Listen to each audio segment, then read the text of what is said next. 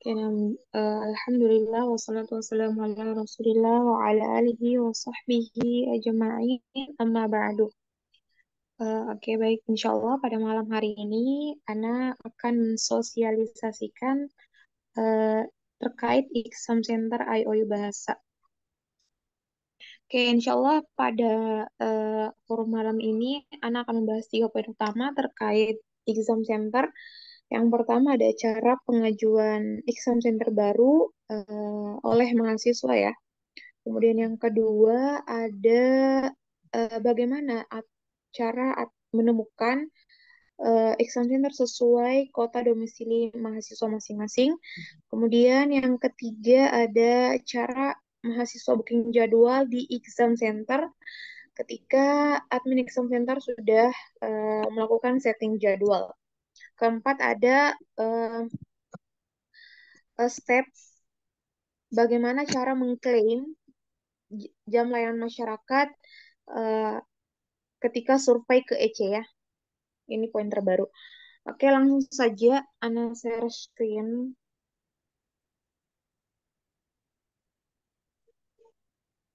Hmm, Sebentar. Eh, mohon tegur ya kalau misalkan audio Ana tidak eh, terdengar dengan baik. Gimana ya?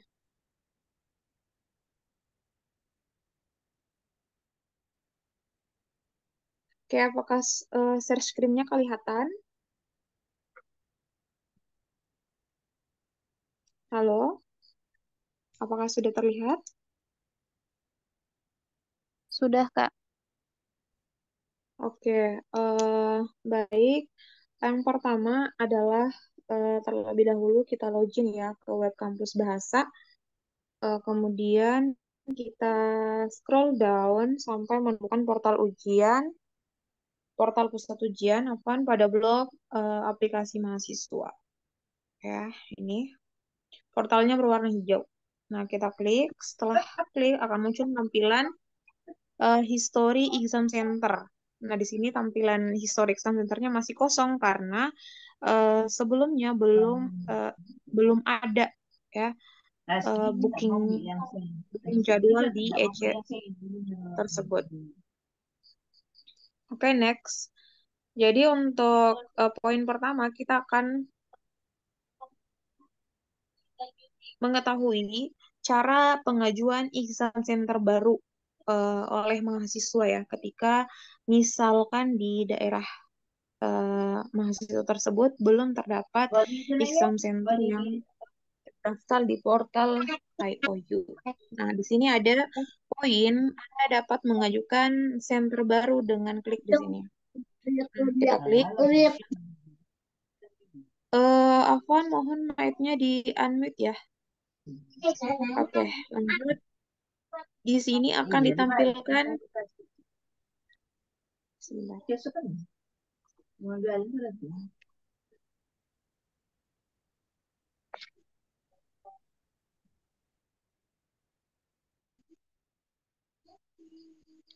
Oke, eh, kita lanjut. Di sini akan menampilkan formulir yang mana diisi berdasarkan data exam center yang akan diajukan.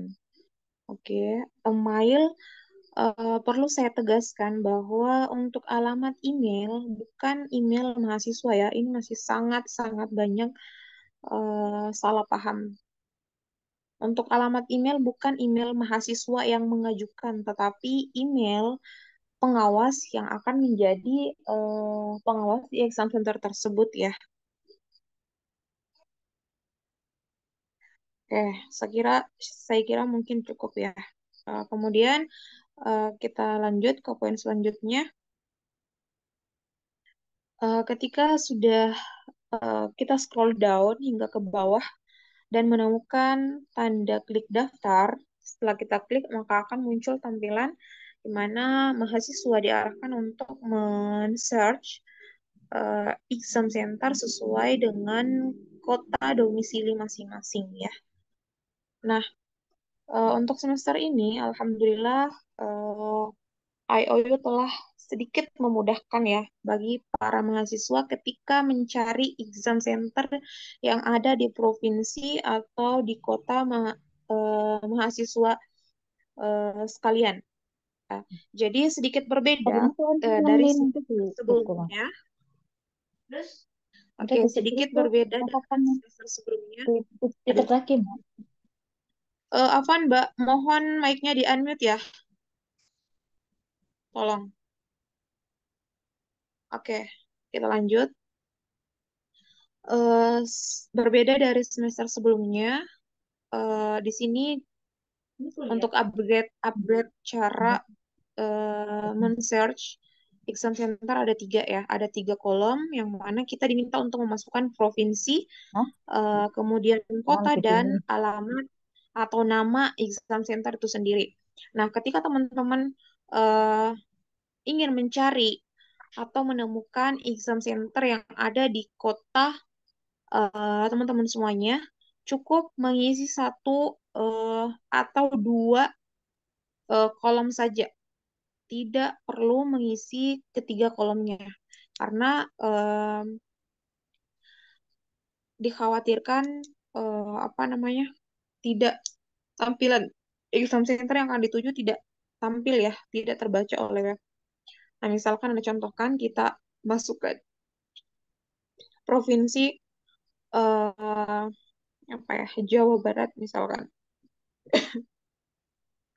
nah, kita klik kita tidak perlu meng, uh, apa namanya memasukkan kota ataupun nama exam center. Cara pertama ya, cara pertama kita tidak hanya memasukkan uh, provinsi exam center yang akan kita tuju saja. Nah, di sini akan ditampilkan uh, seluruh exam center yang terdaftar di IOU sesuai dengan uh, provinsi yang kita tuju.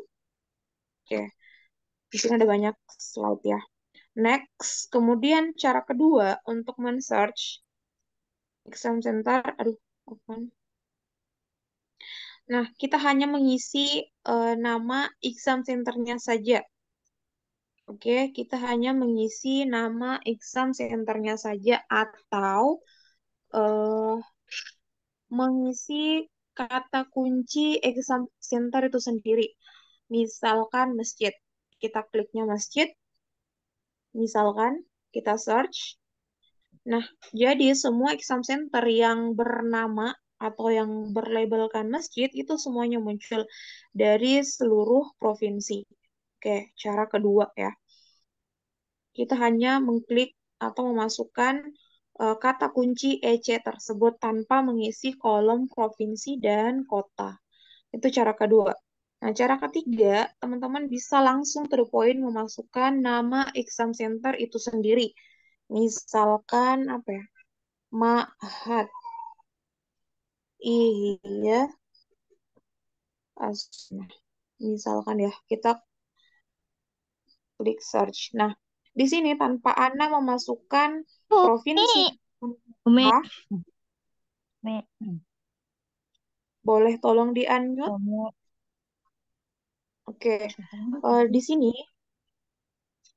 tanpa kita memilih, uh, memasukkan provinsi dan kota, uh, exam centernya akan langsung terbaca ketika kita hanya memasukkan nama uh, exam center dan dengan catatan bahwa uh, nama exam center yang didaftarkan di awal ketika kita men-search atau mencari itu harus sesuai uh, misalkan uh, harus sesuai dengan ketikan atau uh, model huruf uh, kepenulisan nama exam centernya.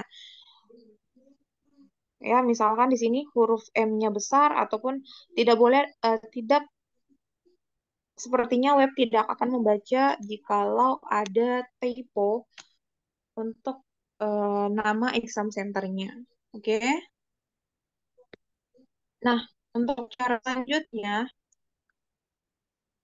teman-teman bisa jikalau mahasiswa belum tahu di di kota tersebut belum tahu exam center apa saja yang sudah terdaftarkan di IOU, teman-teman bisa search masukkan provinsi, bisa kan? Jawa Barat ya. Kemudian klik kemudian aduh search dulu. Kan booker nah, kita tanpa memasukkan nama centernya kita klik search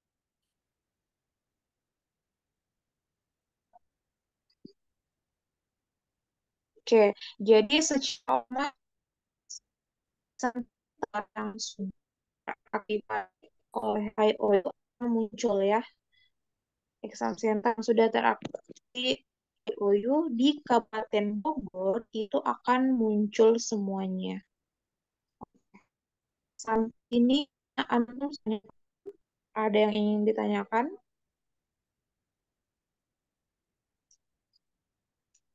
Oke, tambahan jikalau uh, ada mahasiswa sekalian yang belum menemukan uh, exam centernya setelah pengajuan, boleh uh, info ke Ana ya.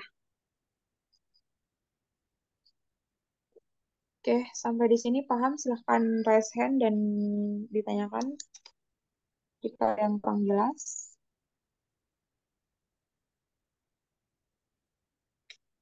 Uh, jadi uh, perhatian juga bagi seluruh uh, mahasiswa ketika melang apa namanya ketika uh, ke tempat exam center mohon adab.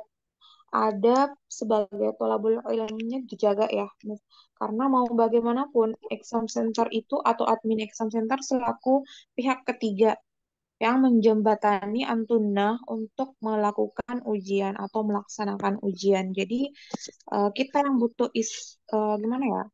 Simpelnya kita yang butuh mereka. Jadi kita harus jaga jangan sampai uh, adanya kita itu membuat mereka kurang nyaman dan next uh, time mereka udah nggak mau lagi. Jadi nggak mau lagi dan tidak mau bersedia lagi menjadi uh, apa namanya uh, exam center untuk antun semuanya.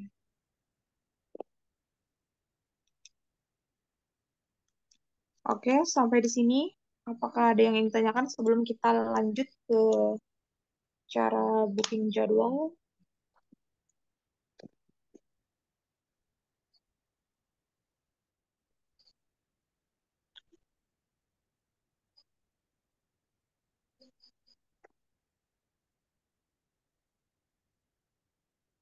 Silahkan langsung raise hand ya. Jika ada yang kurang jelas.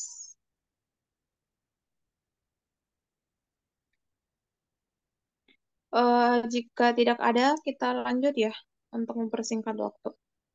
Uh, selanjutnya ada cara booking jadwal ke exam center. Oke. Okay.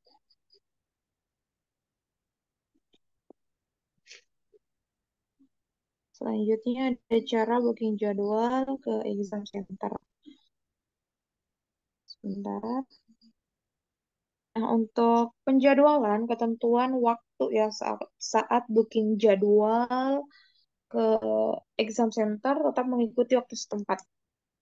Oke, tetap mengikuti waktu setempat. Misalkan uh, apa namanya antum pakai waktu uh, Bali. Nah, misalkan bookingnya di jam 14.00 EC Bali, jadi uh, tetap mengikut waktu jam 14.00 waktu Bali. Namun pada saat uh, apa namanya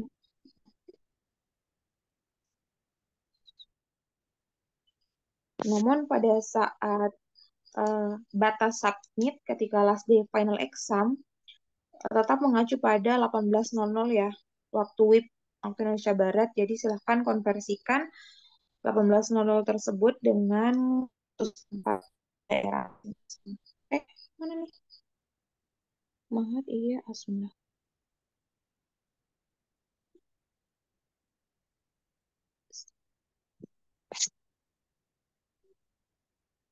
Nah, uh, jadi jadi yang masih kurang paham terkait cara booking jadwal. Nah, di sini insya Allah UAS nanti di tanggal 1 Agustus ya. Sampai dengan enam hari ke depan.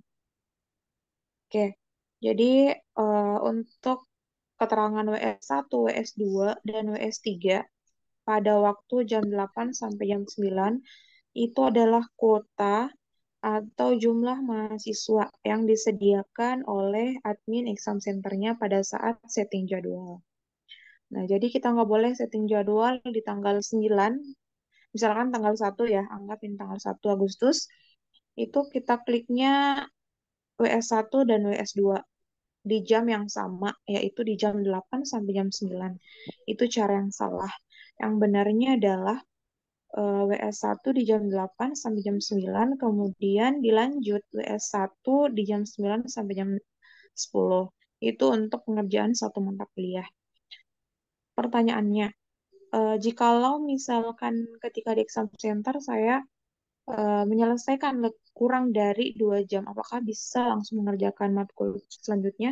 Jawabannya bisa, ya. Oke, eh, sampai di situ paham.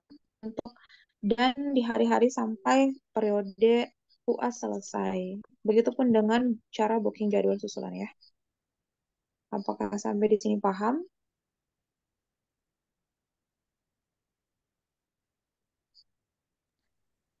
Kak mau tanya dong Kak, Ya, silahkan. itu kita tahu jam-jamnya tuh gimana ya, apa namanya, waktu kita mengerjakannya kira-kira gitu maksudnya, berapa lama? Misalnya mata kuliahnya cuma satu gitu. Hmm. Oh, jadi kalau misalkan mata kuliah cuma satu dikerjain dalam satu hari, eh, untuk pengerjaannya kan nanti terlebih dahulu booking ya, booking jadwal seperti tadi yang Anda tunjukkan. Nanti booking jadwal dulu di eh, portal eh, di, di exam center yang nanti akan tuju. Nah, misalkan nanti booking di jam 9 sampai jam 10 untuk pengerjaan satu mata kuliah, itu durasi 2 jam. Eh, jikalau nanti kelar kurang dari 2 jam, itu boleh langsung balik ke rumah. Nggak apa-apa.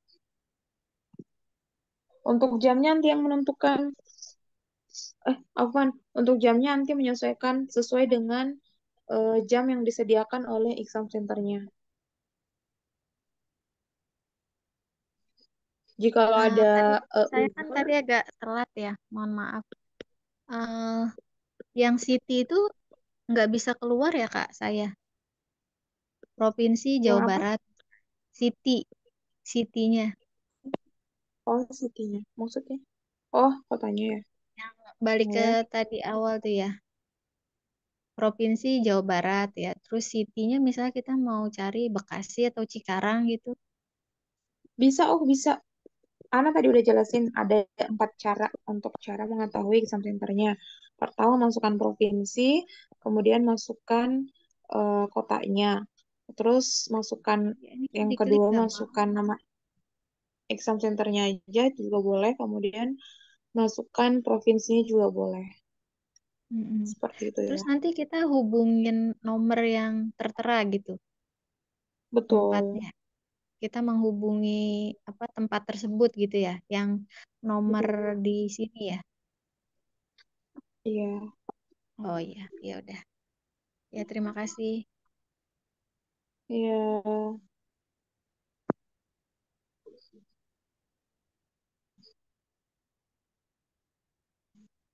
Next, ada lagi.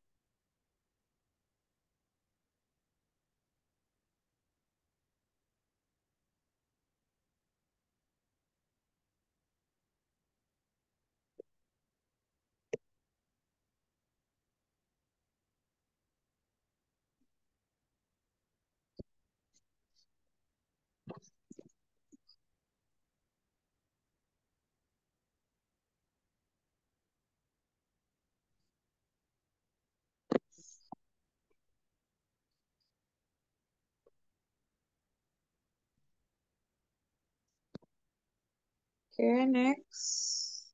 Ada lagi?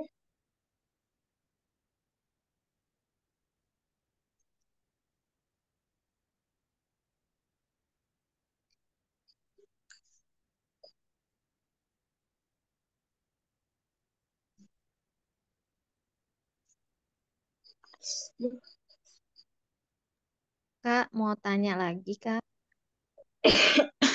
ya, silahkan. Eh, kemarin saya juga sempat nyoba ya, terus eh, exam centernya udah saya hubungi lewat WhatsApp gitu, tapi belum juga dibaca ya. Itu saya harus bagaimana Eh, ya? eh, bol eh, langkah pertama nanti bisa recheck dulu. Jikalau beberapa hari ke depan belum eh, ada jawaban, itu nanti Mm-mm. bisa cari EC yang lain yang dekat dengan Cari eh, apa lagi namanya? berarti ya. Betul. Hmm, sampai ada yang jawab ya. Berarti sampai Iya, ada yang bisa seperti berkenan itu. Fasilitasi iya gitu benar. ya. Hmm, benar. Kalau misalkan benar nggak ada sama sekali, nanti aju ajukan EC baru aja nggak apa-apa. gitu. Iya, iya, karena dari kemarin saya udah WhatsApp ini kok belum juga dibales WA saya gitu.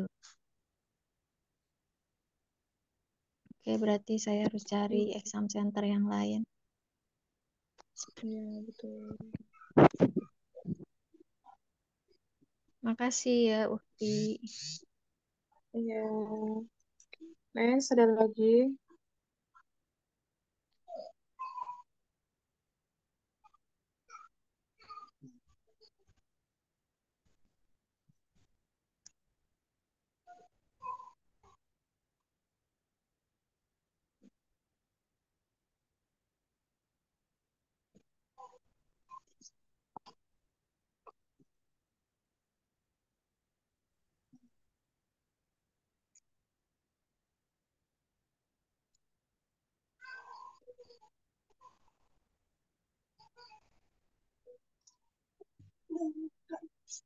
Hmm,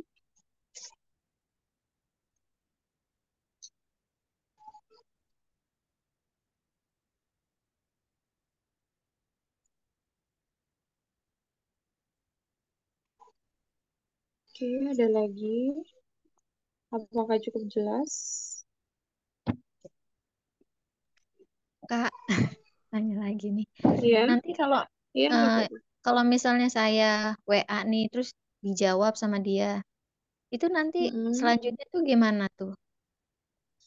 Eh, nanti tanya, ap- eh, an- nanti tanya ke adminnya kan, eh, Hmm, apakah masih bersedia menjadi exam center eh, ketika periode UAS. Nah, jikalau beliau eh, meng-ACC atau menyetujui, nah nanti tinggal tanya lagi, eh, baik Pak, silakan Pak Bu, misalkan, eh, silakan eh, bisa setting jadwal melalui link aktivasi yang dikirim gitu. Kalau misalkan link aktivasinya belum ada atau hmm, tenggelam misalkan, itu bisa info ke Ana nanti di resign ulang.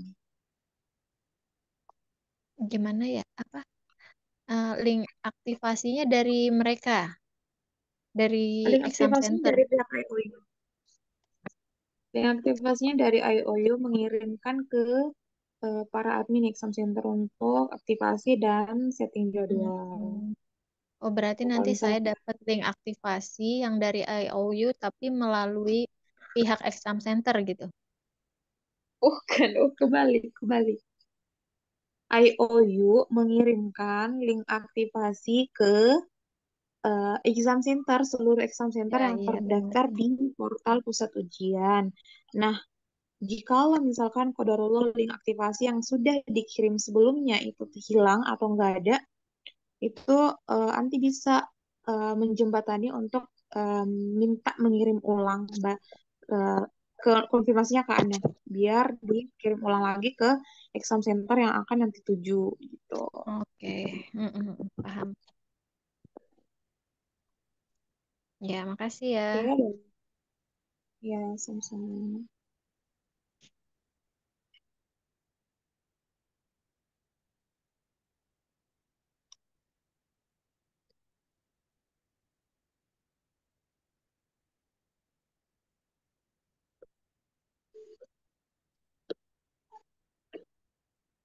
Ya, ada lagi.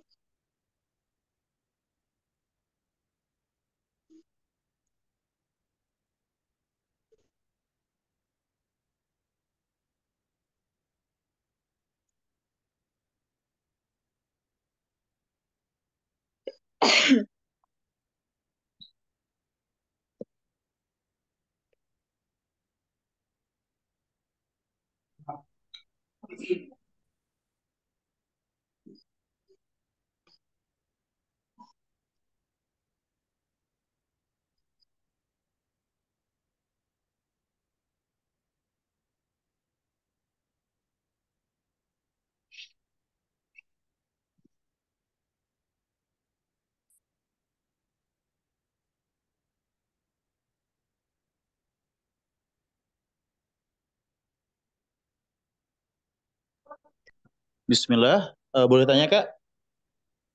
Ya, silakan. Eh, saya kan sudah daftar. Eh, kemudian apakah memang jadwal ujian per matkulnya itu satu jam saja ya? Hah, gimana? Apakah Gimana, jadwal ujian per, apakah jadwal ujian per mata kuliahnya itu cuma satu jam untuk mengerjakan ujiannya? Karena anak kan daftar di Masjid Ukhuwah BSD ya. Kemudian anak mm-mm. daftar di dua apa namanya? Ah. Subhanallah. Ah, ah, ah, iya di dua apa eh, satu hari itu ada dua ya dua mata pelajaran yang diuji eh, yang ikut ujiannya. Nah, cuma di situ terteranya Mm. cuma satu jam. Apakah memang durasi ujiannya cuma satu jam atau bagaimana? Untuk MAIS sih. Untuk, eh, jadi untuk normalnya untuk pengerjaan ujian itu sendiri dua jam. Namun qadarullah jika mungkin jikalau admin exam centernya hanya menyediakan atau hanya bersedia ngawas satu jam saja, itu nggak apa-apa. Jikalau an- antum menyanggupi untuk menyelesaikan satu jam ujian tersebut, itu nggak apa-apa sebenarnya. Boleh. Hmm, tapi aslinya ada waktunya lebih dari itu ya. Gimana? Seharusnya waktu ujiannya kan dua jam ya berarti ya. Ya, normalnya seperti itu. Tapi itu tadi, kalau misalkan exam centernya hanya menyanggupi satu jam saja, itu nggak apa-apa.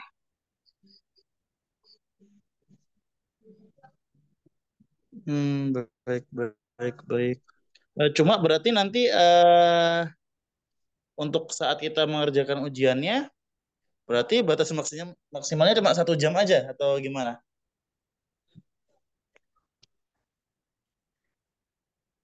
Eh, gimana, apa ya Allah? Ya, saya coba ini ya, saya coba screenshot dulu nah, supaya mungkin bisa menambah ini ya jelas pertanyaan saya. ya.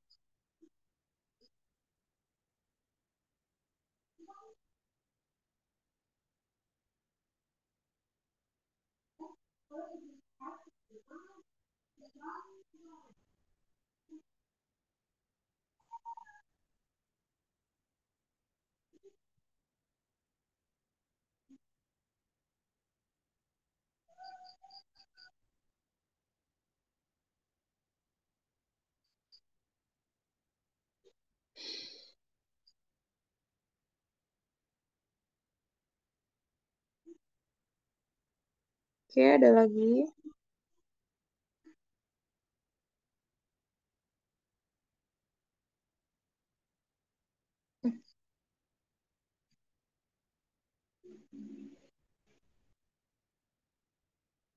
Oke, mungkin jikalau belum ada, Ana pindah ke poin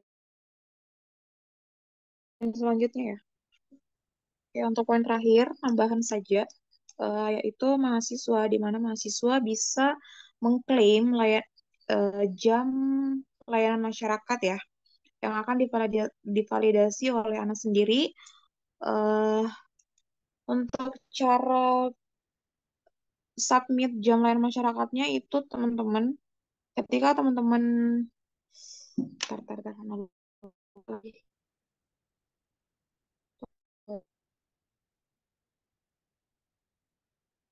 Nah, jadi eh, untuk mengklaim jam layanan masyarakat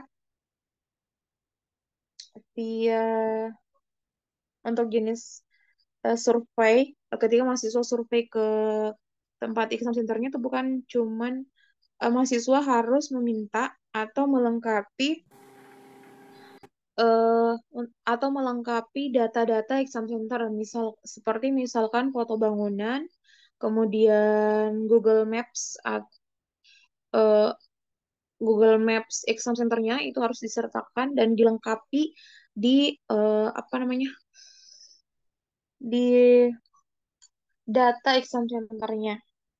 Nah, jadi teman-teman bisa mengklaim jam layanan masyarakat uh, ketika mensurvei ke tempat exam centernya dengan cara membantu exam center melengkapi data-data yang Ana sebutkan tadi, foto bangunan, Google Maps, dan dokumen-dokumen lainnya. Jika berhasil, eh, teman-teman uh, bisa ngitung caranya uh, jarak dari waktu yaitu waktu tempuh dari rumah dari start menuju ke tempat exam center itu berapa jam. Jadi dan selama survei itu berlangsung. Jadi teman-teman bisa klaim jam masyarakat uh, dari situ juga.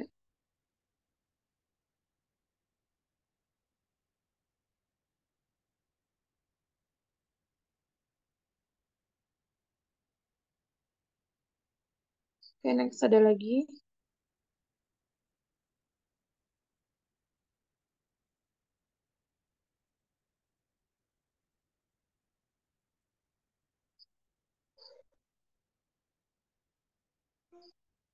Oke, jika cukup, mohon respon by via kolom chat ya. Apakah sudah cukup dan sudah sudah cukup jelas? Nah, jadi untuk teman-teman yang sudah booking jadwal, uh, history exam centernya sudah secara otomatis akan dilihat ya. Sebagaimana tadi uh, Anda tunjukkan.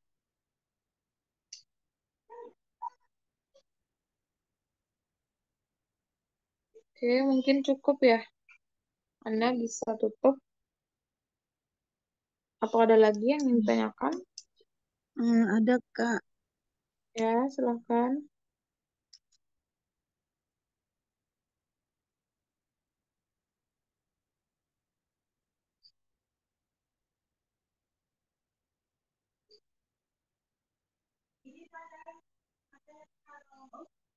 Ya, nah tutup mungkin cukup ya. Mengingat waktu Ana juga di sini lumayan cukup sudah larut karena Ana pakai Wita. Ah, gimana nih? Oh. Iya, Iya. ini saya Kak. Mhm. Eh, eh, yang S2 itu Kak, itu kan matkulnya baru metodologi penelitian kan satu. Mhm. Nah, berarti ketika kita booking itu eh, satu hari itu saja gitu ya Kak? Bagaimana? Eh, booking jadwalnya sesuai dengan matkul yang akan diujiankan saja, oh. Kalau misalkan Oh, cuma satu, berarti satu heeh. aja nggak Satu hari Oh, aja. begitu. Satu hari aja. Ya, Oh, betul. Oke, baik. Ya, terima kasih. Sama-sama.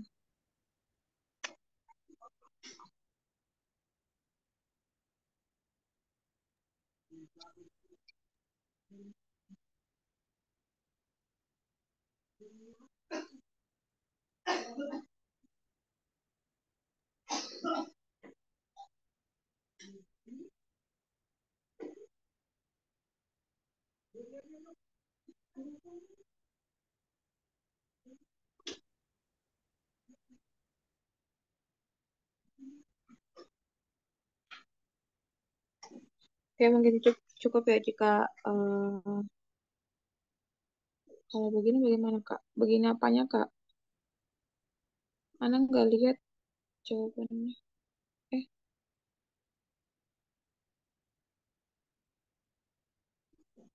oh, ini udah booking jadwal berarti. Ini untuk berapa mata kuliah? Satu, dua, tiga. Untuk ketiga mata kuliah ya? Apakah betul? Antum yang tanya via kolom chat. Iya, uh, seharusnya kan 6 mata kuliah. Cuma Harusnya kok nama uh, pilihannya cuma seperti itu sih, Kak. Cuma dipencetnya bisanya cuma 6 6 Oh. kali WS. Berarti, berarti eh, admin exam centernya hanya menyediakan satu jam per satu mata kuliah ya berarti?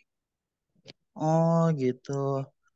Ya, kalau eh, memang seperti ini adanya, maksudnya seperti eh, jikalau memang exam centernya hanya men- menyediakan satu jam untuk satu mata kuliah, eh, itu nggak apa-apa sih, tetap boleh.